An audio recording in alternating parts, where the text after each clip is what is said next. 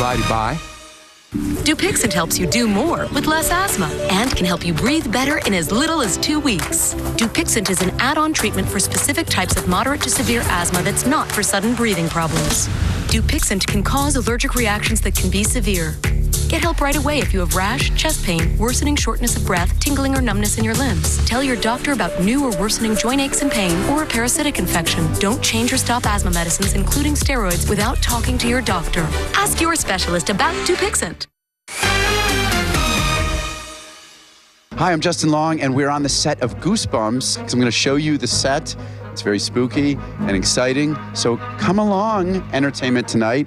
Da-na-na-na-na. Did you know we had a new correspondent? I did not know, but I welcome mean, to the good job. Justin. Exactly. Tune in tomorrow for that, everybody. Meanwhile, get ready to enter a world of I knew you were pure gonna do- imagination. Happening now. It's been six days since the attack on Israel, and now the Jewish Federation of San Antonio is asking for your help. We'll tell you how you can make a difference for this community.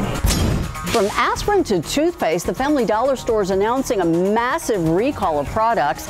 We'll have a complete list of what's being recalled and what you can do if you have these things in your home. And I'll be back to talk about how a cold front will affect our weekend weather and the latest eclipse forecast regarding cloud cover in just a bit. News at 5 starts right now. The new war in Israel entering its sixth day, and San Antonio's Jewish community is taking it personally. Yeah, today the Jewish Federation of San Antonio announcing a major campaign to raise $1 million to help citizens of Israel survive the violence and recover from the attacks this weekend. Camelia Juarez with how that million dollar goal could multiply into 2 million by a local man whose son is on the front lines. Ridin Rubin and Sipin Bar Udin's son learned about the Hamas attack on Israel on Saturday. He immediately went on the attack too, signing on to fight in the new war. I don't want him to be hurt. I want him to come back home. While praying for his son's safety, Bar Udin says he found a way to support his son right here in San Antonio by creating the Israel Crisis Fund. It's unbelievable the chaos that's going on there. And people ask me, what can I do? I say, well, this is what we can do. His promise to the Jewish Federation of San Antonio to help raise a million dollars is only a start. Bar Udin's Family Foundation will match it, doubling the dollars to 2 million. The challenge will go directly into Israel with 100% of the money used to help the victims of the warfare with basic needs like clothing, toiletries, and tents, as well as sleeping bags since so many have lost their homes in the bombing. To donate, visit the Jewish Federation of San Antonio website. that the Jewish community has said never again since World War II.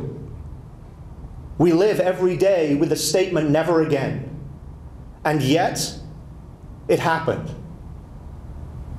We are now in a position of having to say never again a second time. You cannot imagine what that feels like. Camelia Juarez, KSAT 12 News. Now to the very latest from Israel and the Gaza Strip. The death toll from the fighting there now hitting 1,400 dead people. That includes both Israelis and Palestinians. And among the dead, 27 Americans, with 14 still missing. A new unity government is now formed in Israel to restore confidence in the government there.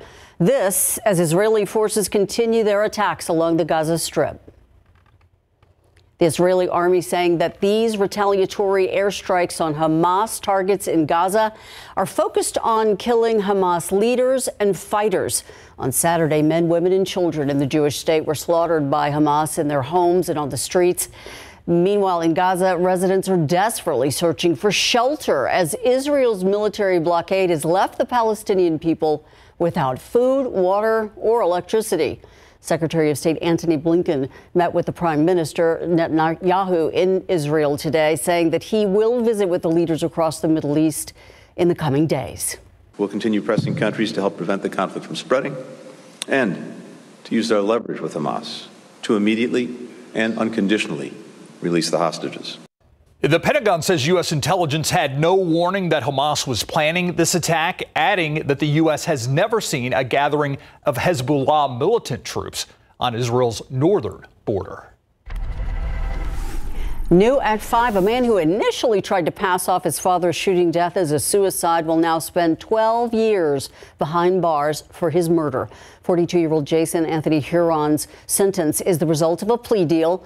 Back in May of 21, Huron told a 911 operator that his father, Anthony Huron, had killed himself. He later changed the story to the operator, admitting he was the one who pulled the trigger. Officers found the father dead in the living room of his home on Lyric Street on the southwest side. Huron pleaded guilty in court yesterday and got 12 years in prison. All right, this is a weird story. San Antonio police are looking for a driver who they say caused an accident with an 18 wheeler, jumped out of their car, leaving it in the middle of the road where another driver crashed into it. All of it happening about 2:30 this morning on I-10 West near 1604 and UTSA. Police tell us before running away, the driver got out of the Toyota Camry, was on the access road of I 10 West, got onto the interstate, and crossed over the main lanes, causing that accident with the big rig. They then took off running, leaving the car in the road where another driver ended up hitting it. That driver taken to the hospital to be checked out. Police say once they find that driver who ran away, they'll be charged with failure to stop and give information at least. If you do some shopping at the Family Dollar, there is a massive recall you should know about. Yeah, the dollar store recalling hundreds of products, including several, several popular medicines, even toothpaste. 12 on your side's Marilyn Moritz explains why in today's recall roundup. Family Dollar is recalling a slew of products, toothpaste to Tylenol. Various eye drops, antacids, vitamins, and more are off the shelves. Many over the counter meds and personal products were stored outside the labeled temperature requirements, according to the FDA. The products were sold between June 1st and October 4th. You can return them without a receipt and get your money back. We have the full lengthy list on our website. All models of one wheel self balancing electric skateboards are recalled after four deaths and several injuries, including paralysis and brain injuries. The 300,000 skateboards by Future Motion can stop balancing if the board's limits are exceeded and riders can crash. In three deaths, the riders were not wearing helmets. Some models are eligible for a firmware update. These air fryers can get too hot. Secura is recalling 6,400 air fryers after several either caught fire or smoked. These were sold on Amazon. Contact Secura. And parents, is this your baby's lovey? Little Sleepies is recalling nearly a half million sleepyhead loveys and bandana bibs because of a choking danger. The company is giving refunds. Marilyn Moritz, KSAT 12 News. Across America, five officers from a Minnesota drug task force taking bullets during this standoff in Glendorado Township. The officers were all injured, but they did survive. Local news reports indicate that the exchange of gunfire happened when the officers were executing a search warrant at the home. Eventually, the suspect was taken into custody, those officers taken to the hospital. The Tampa Bay area reportedly struck by two tornadoes early this morning. One twister did extensive damage to a condo building in Dunedin, but a lot of destruction also left behind in other places. Damage spread across Citrus, Pinellas, Pasco counties. So far, there have been no reports of injuries. Of more than 6 million people across North and Central Florida under a tornado watch that lasted until earlier this afternoon. And a very scary situation unfolding near the TSA checkpoint at Hartsfield Jackson International Airport in Atlanta yesterday. Witnesses there say a woman went on a stabbing spree, and part of it was caught on camera. It happened last night. The woman with what was described as a good sized knife apparently stabbed a taxi driver outside the airport, then a police officer inside the security area. One witness says police were surrounding the woman when one officer tried to make a move from behind. She turned with the knife and allegedly stabbed the officer in the leg. The other officers rushed her and they were able to subdue her. Earlier, police say the woman stabbed a taxi driver just outside the airport before a confrontation with the officers. She's now facing four charges of aggravated assault with a deadly weapon. They broke into a casket. Authorities in Colorado investigating after body parts stolen from a cemetery near Denver. Sheriff's deputies say they discovered a private mausoleum and the casket inside severely damaged. Investigators say the casket pried open. Portions of the body that was inside were removed. Those buried inside that mausoleum lived and died in the early 1900s. So far, those remains have not been found. And oh, phooey, someone in California won the second largest jackpot in U.S. history. There was a single winning ticket matching all six numbers for the $1.7 billion grand prize in last night's drawing. That ticket was sold in Frazier Park, California. The lucky winner will have the option of a cash payout worth $774 million or a one time payment, followed by 29 yearly payments that'll increase by 5% every year. It took the Powerball 36 drawings for someone to finally win the prize.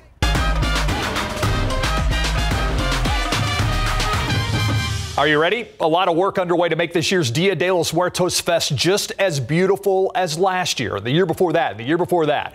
There'll be flowers, at least 80 altars from all over San Antonio, live performances, local art vendors. The Muertos Fest, two days of remembrances and celebrations at Hemisfair Park. And KSAT is going to be there both of those days. Muertos Fest, Saturday, October 28th, Sunday, October 29th. If you can't make it to Hemisfair Park, you can watch all the action right here on KSAT. We're going to bring you a live special November 1st at 8 p.m. And for everything related to this year's Dia de los Muertos Fest and celebrations in and around San Antonio, scan this QR code on your screen for dates, times, and places. Sky watchers and scientists alike, they're going to be looking up in the sky and they're going to be wearing some form of protective fashion this Saturday as the countdown to the annular solar eclipse draws down. There are several watching events in and around San Antonio as well as in surrounding areas. The eclipse begins at 10:23 a.m. It ends at 1:33 p.m. As Saturday approaches, those special certified solar viewers may be harder to come by, but remember, whatever you do, don't look directly at the eclipse with your naked eye. You could damage your vision permanently. And several stores are selling those ISO certified solar viewers. Some organizations and agencies like the San Antonio Library and the Zoo are offering those uh, glasses free if you take part in their special eclipse events. But if you want to watch the annular eclipse from your sofa, KSAT 12 is your eclipse authority station. We have a Team coverage of the big event on air and on our news and on our weather apps. You can scan the QR code on your screen right now and access everything you need to know so you and your family can watch the eclipse safely. We have a lot of information on there, including frequently asked questions, how to make a pinhole projector, safe ways to view the eclipse directly and indirectly, such as the pinhole projector, even just using a colander, let the sun shining through it. The shadows in the holes you'll see on the ground. You'll see the effects of the eclipse. A lot of, lot of information there. 85 degrees right now. The sky finally cleared out a bit. Temperatures boosted well into the 80s. Dew point is 67, so we're feeling that humidity. Near 90 along the Rio Grande, 89 in Warren's backyard in Del Rio, but 79 Leon Springs, 80 Bulverde, La Vernia up to 88. Meanwhile, 79 in Mica. You can see where some of the clouds have really lingered around. Humid this evening, and the low clouds will fill back in with some patchy fog, but I don't expect it to be as dense as what we had yesterday morning. So a little bit in the morning tomorrow. Warm and humid on your Friday, then a cooler fall like weekend. We'll talk about how much temperatures drop with our cold front, how long the humidity is going to be swept away, and your detailed eclipse cloud cover forecast in a bit. Thank you, Adam. Let's check out traffic right now. Let's go to 410 in Perrin and there is a backup. I believe we're looking at the eastbound lanes of 410 in Perrin. You see both the access road and 410 itself backed up. Still ahead, it's a life saving tool in the fight against breast cancer, but only if people are able to get them. How the cost of mammograms could cost some patients important treatment and time. Here's a look at what we're working on for the news at 6. The family of a woman found dead inside a storage bin last year say they're angry the DA's office hasn't kept them in the loop. They say they weren't even told by the DA that the suspects in the case were in court and had been granted plea deals. In fact, it wasn't until they read about it on the KSAT website did they even find out. Their outrage at 6. This weekend, San Antonio will have its first fentanyl walk in memory of the lives changed and destroyed by the drug epidemic. Mothers who lost their children planned this event. We're going to listen about how they came together to make it happen. Plus, an annulus is a fancy word for donut. Have you ever wondered why it's called an annular eclipse? You're going to find out. A new KSAT explains, breaks down what it is, what's going to happen in the skies over South Texas on Saturday morning, but also why looking at the ground could give you a unique, unique view of one of the world's most important moments. It's all that and more coming up today on the News at 6. Mammograms are an important tool used to screen for breast cancer, but as Justin Finch reports, the costs may deter some people from returning for follow up exams, and those could be life saving. The CDC recommends women between the ages of 50 to 74 years should get a mammogram every two years. And for most women over the age of 40, insurance covers the cost of the initial screening. But there often are costs for additional tests and procedures if a mammogram shows a possible abnormality. Researchers at the Neiman Health Policy Institute, in a report published in JAMA, looked at the experience of more than 200,000 women with commercial and Medicare Advantage plans who had a mammogram in 2016. They found that patients with higher out of pocket costs tended to not come back for follow ups. Doctors warn skipping a mammogram can be dangerous. But researchers emphasize that financial barriers remain for many women seeking help. And they encourage policymakers to consider whether follow up exams should be fully covered by insurance. If cost is an issue for you, talk to your doctor. There might be programs that can help. With this Medical Minute, I'm Justin Finch, ABC News. Looking outside with live cam, boy, is this a different picture from what we had this morning. It's like a completely different day, Adam.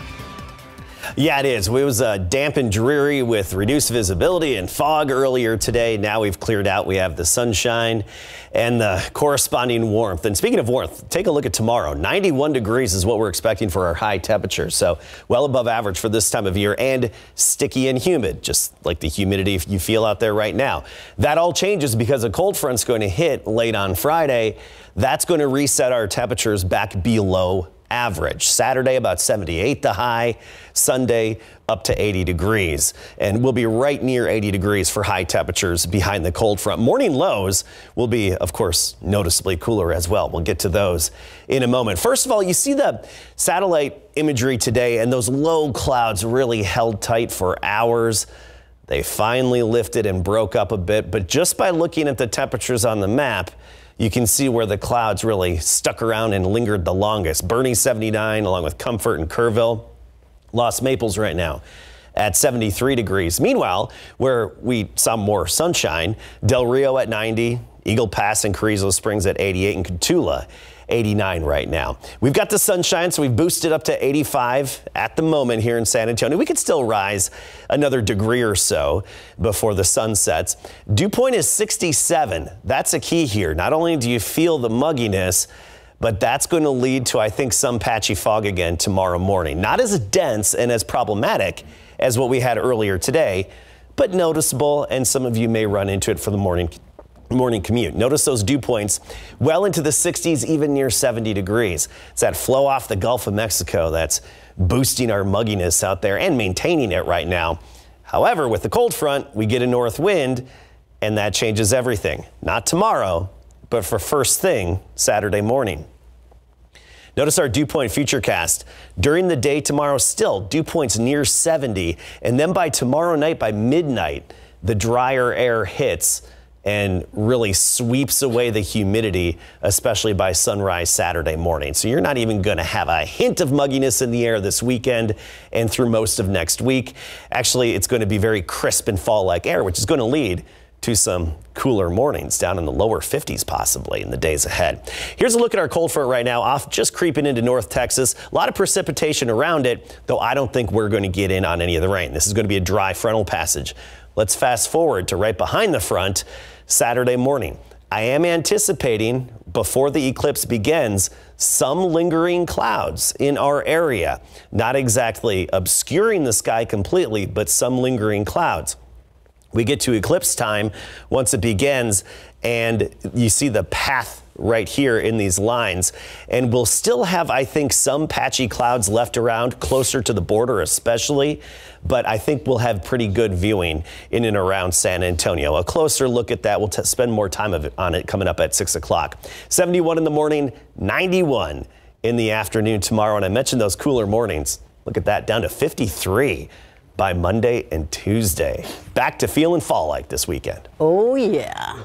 Really nice day on Saturday. All right, are the Spurs back to full strength tonight? Uh, they play what tomorrow night? Tomorrow night. Yes, sorry. tomorrow night. And Jeremy Sochan is set to return, which is pretty cool, right? Yeah, I mean, from his colorful hair to his game, he's fun to watch, and he is set to return tomorrow night. Plus, the Astros are just blown away by their latest accomplishment. Coming up.